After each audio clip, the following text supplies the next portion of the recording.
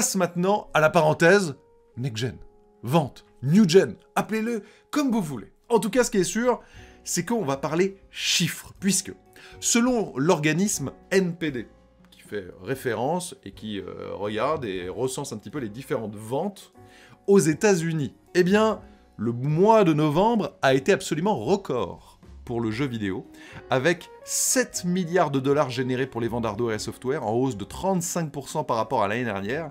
Et voici les données essentielles. Il y en a trois. La première, c'est que la PS5 a réalisé le plus gros lancement de l'histoire des consoles aux États-Unis. On avait déjà parlé de lancement historique mondial, etc. Bah là, aux États-Unis, c'est spécifique, record absolu. Euh, dépasser les ventes de la PS4, qui était jusqu'à présent eh bien l'ancien recordman du monde. Enfin, du monde. Des États-Unis. A contrario, vous le voyez, c'est marqué ici, aux États-Unis, et on va y revenir parce qu'en fait, c'est pas qu'aux États-Unis, la Xbox Series X et la Xbox Series S ont fait des ventes inférieures au lancement de la Xbox One. Ça peut paraître paradoxal, puisqu'on parle depuis des semaines, genre record, meilleur démarrage de Xbox One, euh, de Xbox Series dans le monde, etc. Oui, mais ils se sont lancés dans beaucoup plus de territoires, donc additionné, ça fait de meilleures ventes. Mais par territoire, en fait, on se rend compte que bah, c'est inférieur aux ventes du lancement de la Xbox One en son temps, il y a 7 ans maintenant. Mais je vais y revenir, vous allez voir, c'est assez intéressant. Quant à la Switch, la Switch, bah, elle continue son petit bonhomme de chemin, hein. tout va très bien, puisqu'elle est la console qui s'est le plus vendue aux États-Unis au mois de novembre.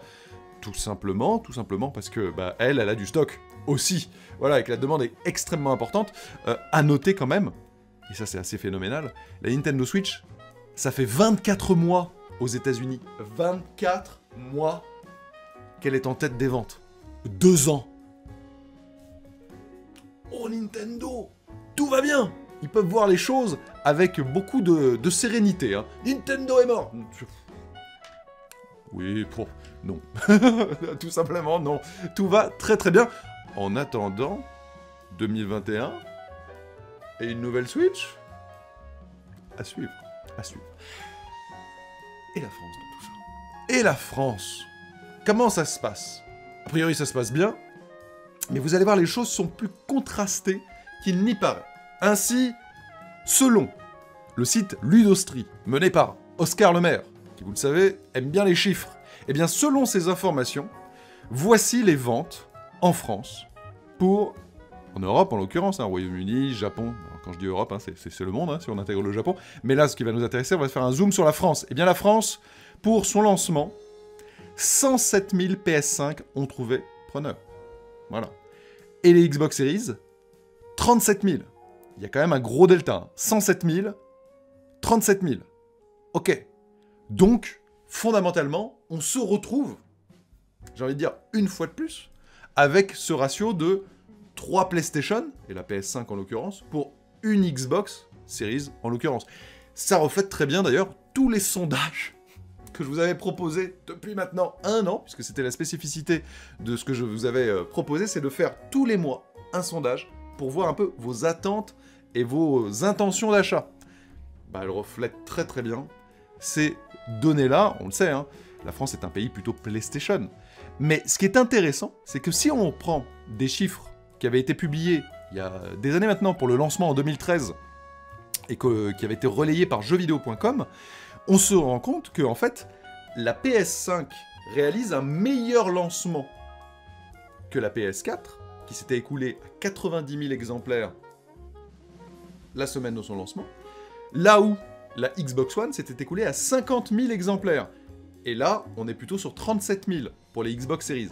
Après, attention, attention. Déjà, il y a les notions de week-end de lancement, semaine de lancement, c'est pas la même chose, parce qu'il y a plus de jours à prendre en compte. Deuxième point, vous avez vu qu'il y a des pénuries absolues.